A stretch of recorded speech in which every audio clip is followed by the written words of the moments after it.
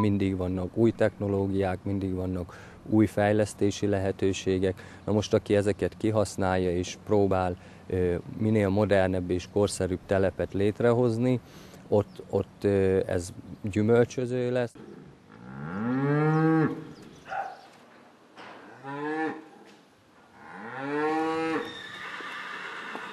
Gazdálkodó akart lenni, de nem voltak családi hagyományok emögött, és ő egy szép nagy gazdaságot tudott fölépíteni az elmúlt néhány esztendőben. Mindig az volt az álmom, már általános iskolába, hogy majd ha egyszer én felnőtt leszek, akkor lesz egy szép tanyám, lesznek lovaim, lesznek baromfiai, mindenféle állatom, és akkor én ott az állatok körül boldogan és szépen fogok élni.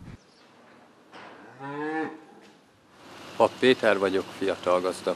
Édesanyám elvitt lovagolni, mert kis hiperaktív gyerek voltam, és hát le kellett valamivel kötni az energiámat, és akkor ö, már kialakult bennem egy állatszeretet, ami a későbbiek folyamán csak erősödött. Úgy alakult, hogy nem a lovaglásból kell, hogy megéljek, hanem szarvasmarha tenyésztésből és tejtermelésből.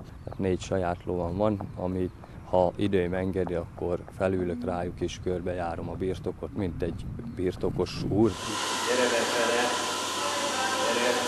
gyere. Ugyanúgy gazdálkodok, mint a többi ember, Remit, akivel együtt vagyok, én is ugyanúgy beülök a traktorba, hogyha kell, ugyanúgy megfejek, hogyha kell, ugyanúgy villanyt szerelek. Egy nagyon jó pofa csivész, aki nagyon keményen dolgozik, és élvezi az életet. Szeretnék még bioenergiát, tehát elektromos áramot termelni, és későbbiekben a saját magam által megtermelt tejet, illetve a közeli gazdaságokban kis termelőktől felvásárolt tejeket pedig feldolgozni.